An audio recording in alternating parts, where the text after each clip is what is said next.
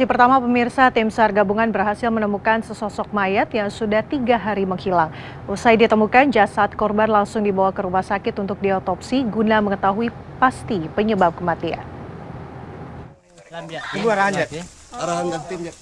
Oh arah sion tapi ikut caranya.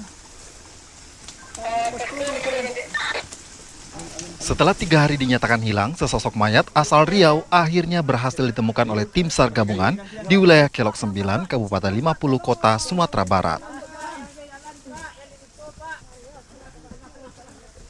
Jenazah ini ditemukan dalam kondisi tidak berpakaian. Sebelumnya, jenazah bernama Amreh Santoso ini hilang saat akan buang air kecil di kawasan Kelok 9, namun korban tidak kembali lagi ke keluarga yang sedang menunggu di pinggir jalan. Usai menghilang, keluarga korban langsung melaporkan kejadian ini ke Basarnas setempat. Kini jenazah langsung dibawa ke rumah sakit untuk diautopsi untuk mengetahui pasti penyebab korban meninggal. Dari Kabupaten 50 Kota Sumatera Barat, Job di Nursyah, RTV.